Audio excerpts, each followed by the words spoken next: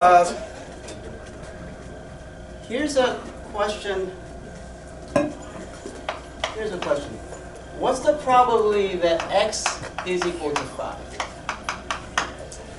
One tenth of Exactly 5, right here. The, the probability that the coin is, will be found exactly at the spot 5, yes. One ten. No, no, not one tenth. It's like times. Almost Somebody- zero, It will be zero, why? uh, because like at that exact point, it would At exact point, like the, the Yeah, there's, you can't, you can't have that in a continuous, right? So, one way to say it would be, well, that would be like integrating from five to five of one ten. That's zero, right?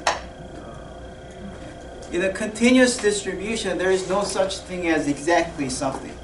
It probably will only give you values if you give an interval. It's similar to the following question, like, uh, if on a table, try to uh, make your fingers touch the table exactly at the same time. Exactly. Down to femtoseconds. Is that possible? No, it doesn't work.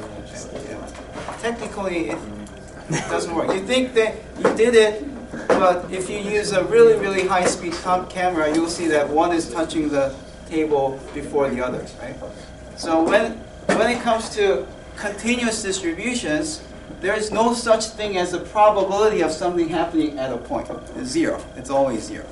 So uh, in my previous explanation, I was doing uh, something like this. Uh, f of 8 minus f of 5, which perfectly, what, what does this mean? This is the probability that x is between 0 to 8, and you're subtracting probability of x being between 0 to 5, and because fi- the, the, the case when x is exactly equals to 5 is being subtracted, this really calculates probability of x strictly greater than 5 and lesser equals to 8, which is kind of different from example 1. Example 1 has equality in there, right? But nonetheless, this has the same probability as if you include 5.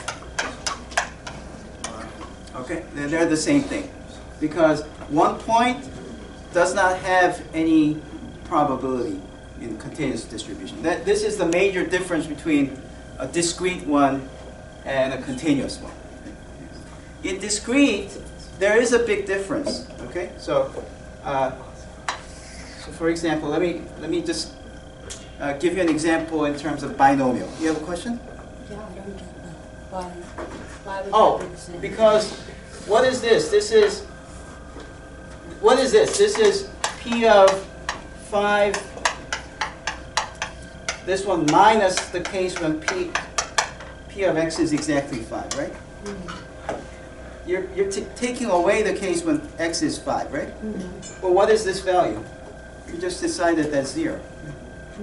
So subtracting zero doesn't do anything, so these two must be the same. Right? Uh, that's because probability at each point in a continuous distribution is zero. Yeah. Probabilities are positive only when you're provided an interval. But uh, let's kind of compare this with the discrete case. So uh, in the discrete case, uh, consider x following, say, binomial NP. So that, uh, which means your probability density function this time uh, is oh, is given as n choose k uh, p to the k power q to the n minus k power. That's the formula for the, the probability density function for f. And uh, if you are being asked, let's just say n is 10, so that's kind of similar, but it's very different. Uh, if in here we ask, what's the probability of x between 5 to 8,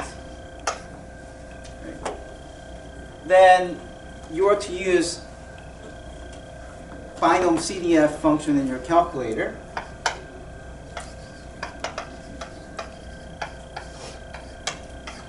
Then you would you would think that oh I should do 8 minus 5, but that's not true. So uh, in the TI-84 calculator binom CDF you have to provide the number 10 first, and p is some p value I don't know, uh, some value that will be provided in the question, and then you would put 8 so that it calculates this cumulative distribution from 0 to 8, right? And then you would subtract binom CDF of 10p, what goes in here? Five. No. If you put 5, then you only get the probability for six, seven, eight. If you want to include 5, what should you put here? 4. You have to put 4.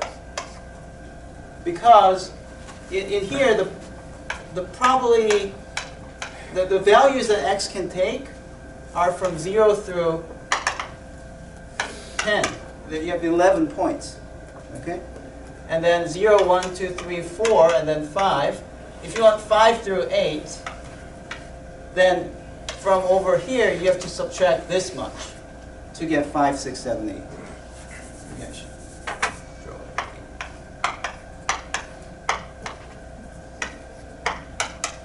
So look, if I want 5, 6, 7, 8, from 0 through 8, which is this binom CDF, cumulative distribution function. Cumulative means you add everything.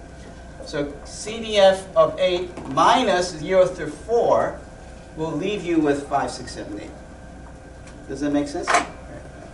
So that's the big difference.